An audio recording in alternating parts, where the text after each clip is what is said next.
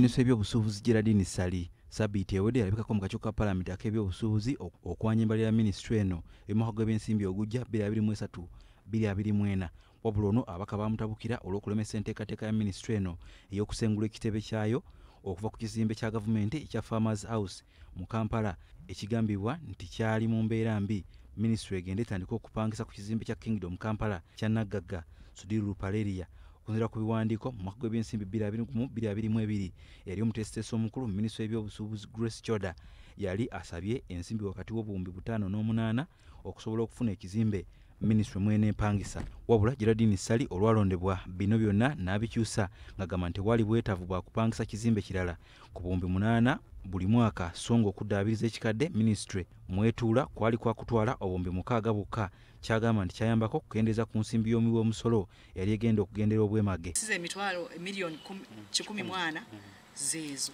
Kati ebirala byonna ebya maintenance byonna building security eh, okulongosa ekizimbe nabiki byonna neŋŋamba byonna byonna awamu ne bwemba nga mbimazeeyo byonna kosti zigenda nga mu miliyoni bisatu omwaka.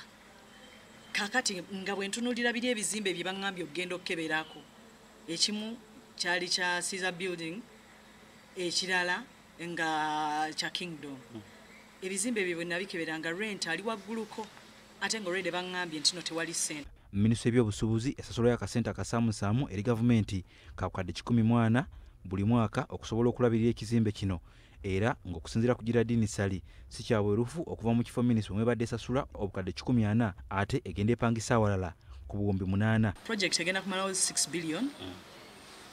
Mu renting tubadde tugenda kuggwera mu billion munaana. Nze mukulaba okwange gavumenti ebeera esavings esente about 6.8 billion. Minimum. Tuba tetwetaaga ate kusasula rent mu bizimbe ebyobwannannyini tuba tujja kusigala mu kizimbe ekyaffe kubanga ekyo ekizimbe kiri owned by uganda property holdings. Newankubadde ng'okusalawo okwakolebwa okusengula minisitule kwategeeza ng'ekizimbe ekyo kyali kisulira okugwa. Ono agamba nti abakugu baalaga nti kigumu kizibu nga ne wanaabeerawo obwetaavu obw'okwongerako omwaliriro omulala. Kyali kisoboka kwe kusalawo okukiddaabiriza ono ategeeza newankubadde ng'eriyo abamusuza ku tebuukye.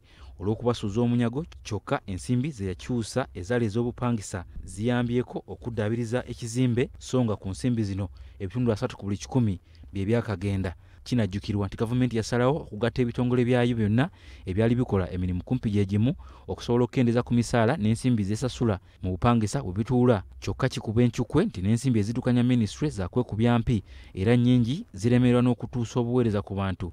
Kyokka ez'obupangisa ne zirabika wadde nga mpitirivu. Biliyoni munaana.